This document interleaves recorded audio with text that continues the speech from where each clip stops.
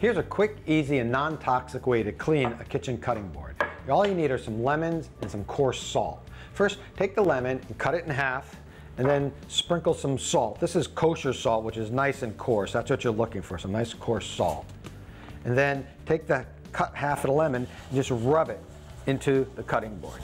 What you're doing is you're forcing the juice from the lemon, which has high acidity, and the gritty texture of the salt into the wood.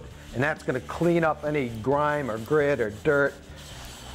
And you know, you probably want to do this for a good two or three minutes, but I'll just show you just in a few seconds how clean it smells great too. It's important to do this, you know, if you use your cutting board a lot, you probably want to do this at least every two or three weeks. Then bring it over to the sink and just wipe it down. You don't have to wash it, it's just lemon juice and salt. So you just wipe it down. Now at this point, you're going to want to let it dry overnight at least. And then come back, if it's a wooden cutting board, treat it not with vegetable oil, which could go rancid, but with either food grade mineral oil or cutting board oil made specifically for wood.